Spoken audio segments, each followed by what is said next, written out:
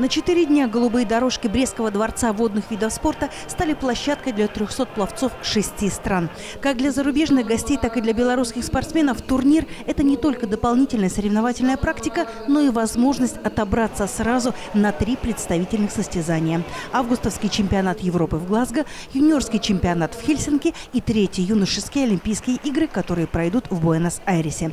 Предстоящий сезон для пловцов будет нелегким. Подготовка строится таким образом, чтобы у нас все-таки были медали и на Европейском чемпионате, и на э, Олимпийских юношеских играх. Задел для этого у нас есть. Мы очень надеемся на те эстафеты. Вы помните наши две медали на последнем чемпионате Европы, где ребята проявили себя и смогли завоевать и серебро, и бронзу в эстафетном плавании. Поэтому целенаправленная пойдет подготовка именно на эстафету. Кубок Беларуси – первые старты республиканского уровня в новом сезоне. Поэтому за рекордными секундами пловцы не гонятся. В заплывах спортсмены проверяют, насколько успешным и правильным получился тренировочный процесс. Подводят промежуточные итоги. Соперницы очень достойные, сильные, с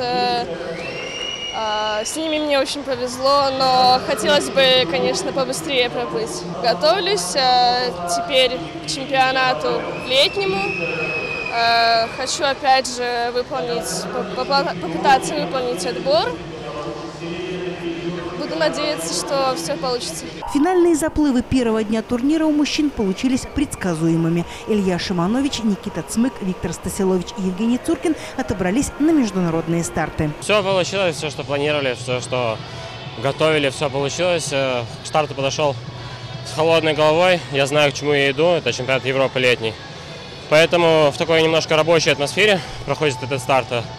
И, по сути, я болел, но э, все равно получилось отобраться на чемпионат Европы чему я, естественно, очень доволен. Все по плану. Особых рекордов не получилось и у женской половины участниц Кубка Беларуси. На пик формы спортсменки планируют выйти к началу лета. Норматив на чемпионат Европы выполнила и брестская русалочка Анастасия Шкурдай, успешно выступив на непрофильной для себя дистанции 50 метров брасом. Показанное время достаточно хорошее, так как я специализируюсь на дистанциях 50 бутерфляй, 100 бутерфляй, я также спиной плаваю. А для меня полтинник брасом – это новая дистанция, и поэтому для меня большой успех занять третье место, и я улучшил результат, поэтому я довольна. Мы работали как и до этого, так как и сейчас, в полную силу, и то, что я попал в команду, это очень приятно, но мы все равно продолжаем работать точно так же и еще сильнее, поэтому ответственность э, остается такой же. Ирина Альшова, Эдуард Бакунович, Дмитрий Лазарчук, телекомпания Бук ТВ.